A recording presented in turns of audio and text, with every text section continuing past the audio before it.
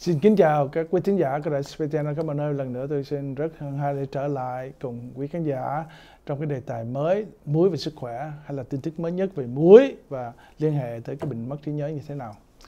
Thì chúng ta sẽ cũng bàn sơ qua về muối và những cái bệnh tim mạch như cao huyết áp và muối và những bệnh nhân mất trí nhớ ở những người lớn tuổi. Trước khi nói về muối thì cũng sơ lược qua chúng ta cần biết một tí về cái cấu trúc của muối về phương diện à, à, khoa học một tí xíu muối có ở đâu à, công dụng của muối từ thời xưa tới bây giờ như thế nào và khi nào thì muối nó không còn mất đi mạng nữa.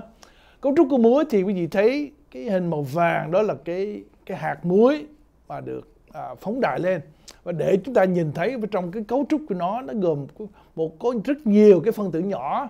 Và mỗi phân tử nhỏ đó theo quý vị thấy nó là có cấu trúc gọi là sodium chloride là chữ chữ N là chữ A cộng và chữ C chữ L là, tức là chloride. Trên cái kết quả máu sẽ thấy chữ sodium, đó là muối và chloride. Đó là hai cái cấu trúc chính của cái muối mà chúng ta đo trong máu.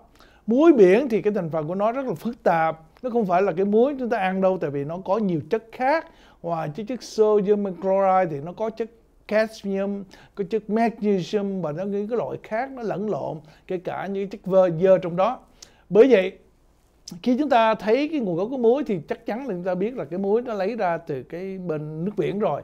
Nhưng mà quý vị đâu có tưởng tượng được cái người do thái là cái người sản xuất rất là nhiều muối trên thế giới. Và sau đó người việt nam thì chúng ta lúc nào cũng sản xuất đủ muối để sử dụng tại vì phần nửa cái hình chúng ta là nước biển. Và đây là một cái hình rất là đẹp tôi muốn sử dụng tại vì có những cái à, nhà nhiếp ảnh nghệ thuật họ để cái hình muối ở Việt Nam cho chúng ta xem. À, cái muối thực sự của nước biển nó màu, nó nâu và nó có nhiều chất đoạn trong đó. Bởi vậy nó sẽ qua một chương trình để lọc ra những chất dơ và sau đó để nó tinh khiết quá. Thì chúng ta có cái loại muối rất là ngon, rất trắng thì chúng ta ăn ở nhà nhưng cái điều quan trọng nhất về phiên diện nghĩa học là quý vị nhớ là muối có hầu hết trong thực phẩm. Đó cái điều quan trọng lắm. Kể cả bánh mì chúng ta ăn cũng có muối, mà tất cả những cái đồ hộp chúng ta cũng có muối. Kể cả thịt cũng bút muối kể cả những cái nước mắm, nước tương, xì dầu, khô đều có rất nhiều muối trong đó. Đó là cái điều chúng ta phải nhớ. Và cái câu hỏi này được đặt ra từ rất là nhiều năm trong giới học là thực sự cái muối nó thực sự nó ích lợi như thế nào và nó hại như thế nào? Chúng ta sẽ đề cập một số trong cái lần hôm nay. Trước hết thì chúng ta sẽ nói sơ qua muối lúc nào được sử dụng trong đời sống hàng ngày, nấu nướng, bảo quản thực phẩm, giữ thực phẩm cho tươi, kể cả sử dụng trong phân bón và cả diệt cỏ dại luôn. Nhưng mà trong cơ thể chúng ta, đó điều quan trọng nhất về phương diện y học là nó sẽ giữ quân bình cơ thể mình cũng sự quyền diệu của nó sẽ giữ được tất cả những cái hoạt động của muối ở mức độ trung bình. Bởi vậy cái lượng muối đo trong máu lúc nào cũng quân bình hết. Và nếu chúng ta thiếu, thì gọi là hyponatremia, nó sẽ gây ra triệu chứng đôi khi bị hôn mê vì thiếu muối. Mà nếu dư quá cũng không được.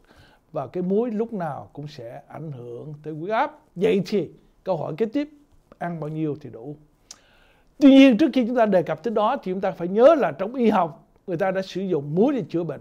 Muối có trong hầu hết các thuốc dưới dạng hydrochlorides và đặc biệt sử dụng trong sát trùng về răng và người ta truyền cả nước muối, nước biển để mà chữa bệnh. Người lớn thì tối đa chỉ được ăn 2.3 gram hay chúng ta đơn giản là 2 gram một ngày. Mà thôi trẻ con ăn khoảng phân nửa cái liều lượng đó. Đó là theo khuyến cáo của National Academy of Medicine Hội viện làm gia, quốc gia về y học. Và chúng ta nhớ rất đơn giản là một muỗng cà phê là 6 gram muối.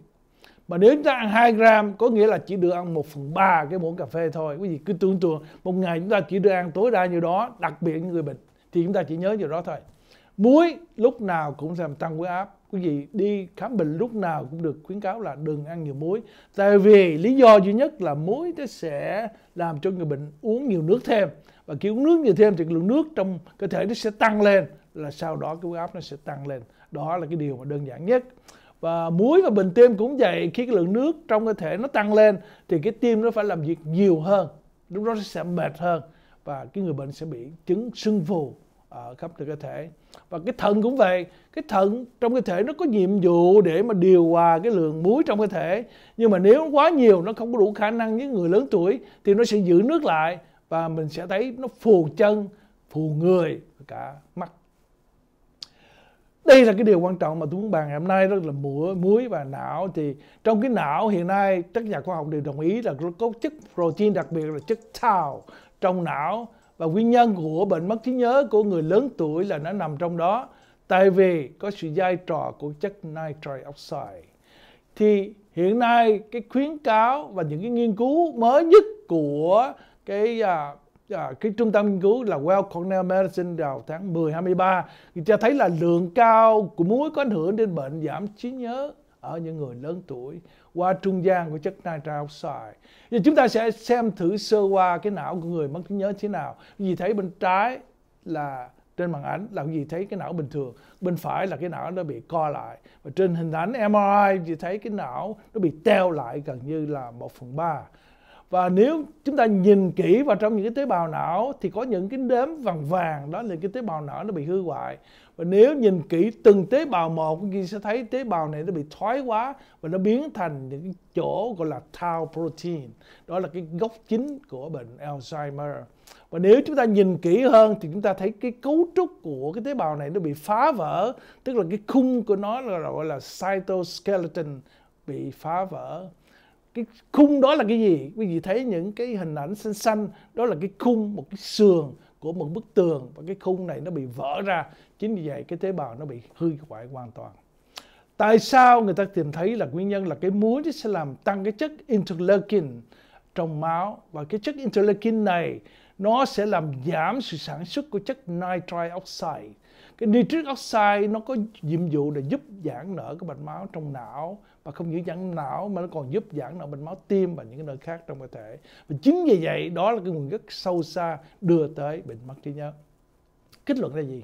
Chúng ta thấy là muối có ảnh hưởng tới huyết áp, có điều đó khẳng định. Muối sẽ ảnh hưởng đến người suy tim, đó có điều chắc chắn. Và muối cũng sẽ ảnh hưởng đến người bị suy thận. Và đặc biệt điều mới nhất chúng ta được học hỏi là muối sẽ ảnh hưởng đến bệnh mất trí nhớ người già. Và cái điều quan trọng nhất là nếu chúng ta có thể giới hạn muối trong tất cả mọi tình huống, trong cách ăn uống, trong cách nấu nướng, thì quý vị sẽ thấy đó là cái điều phòng bệnh quan trọng nhất mà tôi chỉ muốn gửi đến quý vị ngày hôm nay là chúng ta đến giới hạn muối càng nhiều càng tốt. Nó không ngon miệng nữa nhưng mà nó sẽ giúp cho quý vị nhiều về việc sức khỏe. À, tôi xin à, chấm dứt ở đây. Với quý vị cần nhớ là tất cả những kiến thức học nó sẽ thay đổi không ngừng và những cái điều chúng ta hiểu được hôm nay có thể sẽ được thay đổi trong tương lai. Và xin cảm ơn quý vị đã theo dõi. Nếu quý vị nào mà muốn à, xem lại chương trình hay là xem những cái chương trình tới thì vào cái YouTube đánh vào chữ bản tin học. Xin kính chào quý vị.